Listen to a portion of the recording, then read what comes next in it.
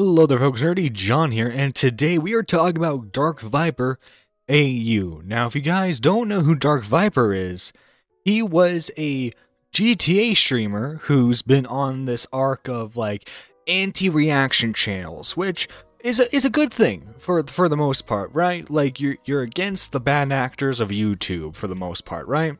Well, the problem is he kind of chose the uh, nuclear option where like all reaction content is bad no matter the circumstance, right? So even if it's a fair critique, it's not just playing the video with minimal edits or talking in it, right?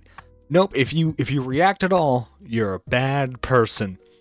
And he did this to a streamer called Chud Logic. Now, luckily, he he did this so poorly with Chud Logic that eventually YouTube just kicked it back towards Dark Viper and was like, "Hey, you need to file this properly." And you know, for the most part, it just kind of went nowhere. Um, people like Nicholas Diorio decided to donate to him, asking about the whole thing, and he just kind of like he, he he said he did it without doing it.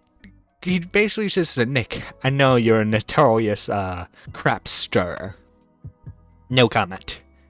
But, like, it was clearly him who was doing it, right? Well, here is this tweet from Chud Logic saying this. Remember when Dark Viper AU filed a DMCA against me last year for reacting to one of his YouTube videos and it got knocked back by YouTube?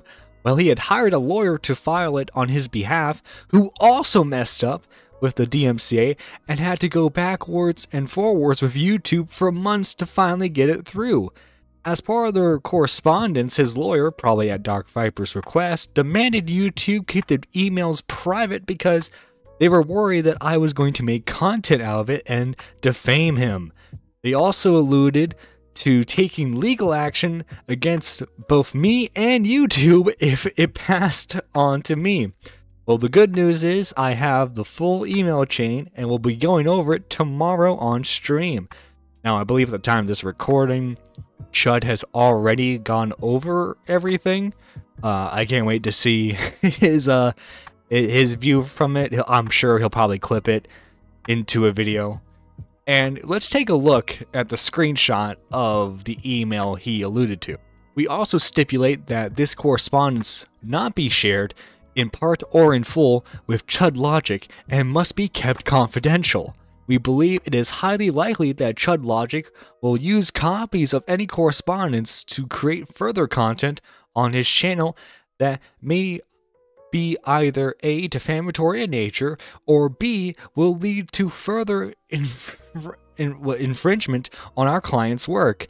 Each outcome would be at the detriment of our client. We note that this takedown correspondence between our client and YouTube with respect to the first infringing work was subs subsequently used by Chud Logic to create further offensive content, which included copies of the takedown correspondence and references to our client being a copyright abuser, which may give rise to an action of defamation. On this point, we refer to the following videos for your reference only. And it says at the bottom, should YouTube breach the confidential nature of this correspondence, our client receives all rights, sorry, reserves all rights he may have at law or inequality, uh, I'm pronouncing that wrong, but either whatever, to take appropriate action against YouTube and Chud Logic. Now, guys, I don't think I need to tell you it's ridiculous to even try to do YouTube lawsuits, right? Like, what happened to the to the good old days of YouTube when two YouTubers would just beef and like make like four videos on each other, right? Now it's all about, oh, I'm gonna sue you, I'm gonna sue you. But like, it's another level for Dark Viper AU to threaten to get YouTube involved in this. YouTube, who, keep in mind, has the backing of Google, one of the big, biggest tech companies of all time. Now, obviously, copyright is a uh, is a, like it's a blank void where anyone can really interpret how they want.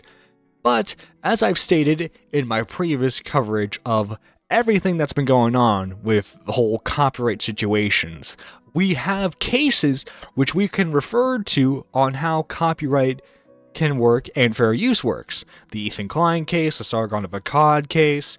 So Chud Logic is well within his rights to do whatever he wants with Dark Viper's content as long as he transforms it in nature. And that's what he did with all of his critiques, his analysis, everything. Dark Viper just can't handle being criticized over something that he is seemingly really passionate about, but like he can't see what's the phrase? He can't see um the trees through the forest or something like that. Anyway, you get what I'm saying here. He's not seeing the big picture. He's just seeing a very narrow-minded view of something and he can't listen to anyone else. He also released a video on his secondary channel talking about how Ethan Klein is a toxic hypocrite.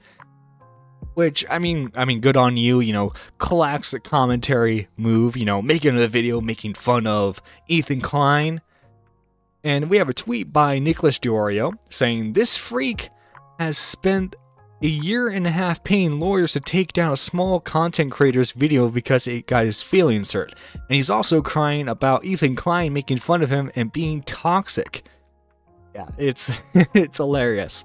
Here's a clip from that. This reminded me that very recently I found out that Ethan has something like six different sound effects of me on his podcast. Not only that, he has used them frequently for over two years. That is just really fucked up. Divided by 14. It's 14 pages! 14 pages. That's right.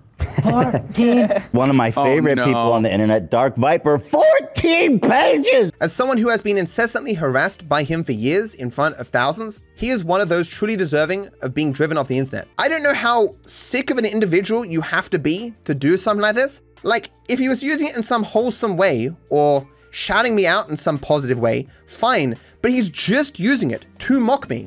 But I did write a 14 page script explaining it's a 14 page document. On page 14, it's 14 pages long, which is why I spent 14 pages establishing. It's a 14 page meticulously written, it's 14 pages! 14 pages.